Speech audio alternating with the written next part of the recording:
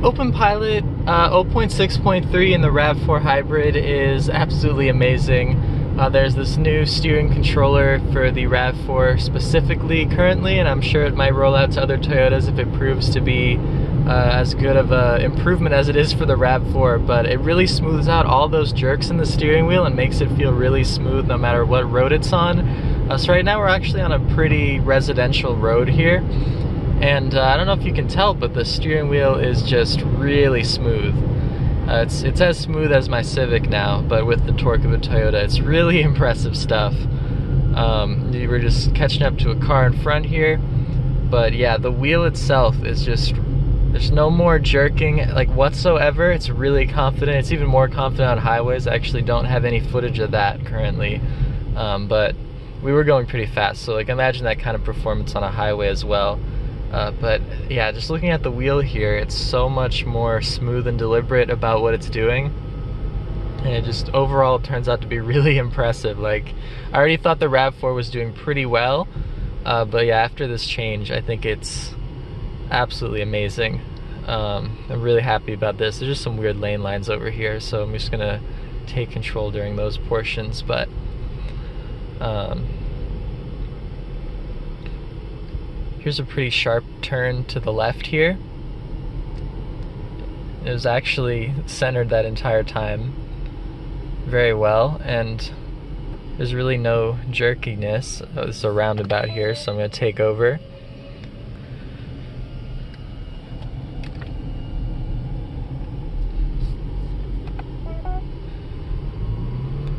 We're back engaged. It's looking super well. Like we are dead center in the lane. And not only that, but it's also it's just so smooth. It's crazy. Like it's really hard to explain, but if people had a RAV4 before or have a Toyota uh, with open pilot, they'll know what I mean, where it's a little bit jerky. Unless you're on one of the newer uh, TSS P 2.0 cars, such as the 2020 Corolla. That car actually has pretty good steering like this already but this change gave it to older cars like this 2018 RAV4 hybrid.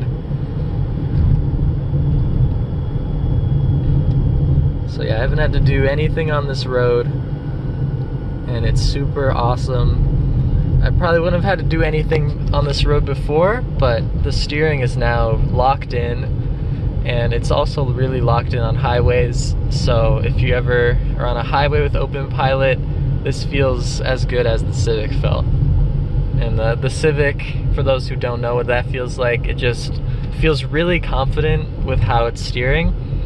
And this car now feels that confident. So 0.6.3 is a huge step forward yet again for the RAV4. Can't believe all these changes. I didn't even get to cover 0.6.2 on the channel, uh, but that made uh, the radar tracking a lot more accurate because the radar actually is checking where the path of open pilot is rather than the path of the steering wheel angle. So that means it'll track uh, a car through the entire turn really nice. And that is also very beneficial on this car. Because this car actually didn't have the best calibrated radar before, it was a little bit jumpy to try to jump to cars in the wrong lane. But with that change to the way the radar was calculated, it actually fixed that entirely as well. So this car is now driving infinitely better than it once did. And I just couldn't be any more happy with this system right now. It really can't get much better than this. I mean, it's doing some crazy roads with no problem. It does highway flawlessly. So, yeah, I just wanted to give you guys this video to show how happy I am with Op Open Pilot uh, 0.6.3. Super big step up for the RAV4 users specifically, and I'm sure this uh, way of steering will come to other cars as well. I'm quickly going to run down some of the other changes of OpenPilot 0.6.3. It's pretty, pretty awesome. Uh, so first of all, there's alert sounds that come from the Eon now rather than coming from the car, uh, which is cool. It means all Eons will have the same sound effects. Uh, driver monitoring is much improved. It actually can track your eyes now, which is pretty cool considering uh, I, I, didn't think that was possible with this kind of camera that's on the Eons. Also, of course, a new driving model that ends up doing better on roads without lane lines, and also there's improved lane positioning with wide lanes and exits, which is really nice. Uh, it actually doesn't really take any exits anymore when I was using it on the highway. And a really nice thing for Honda users is it will slow down for turns using the driving model, which means when you're coming down the road and it sees a turn up ahead, the car will slow down maybe 5 to 10 miles per hour, and that really helps with the torque limit of Hondas.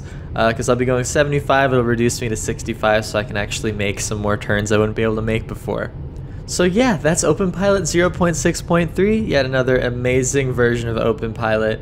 Uh, really great work to the Comma team. You guys are doing amazing lately. I'm loving all these updates, and I hope you guys are enjoying the open pilot videos.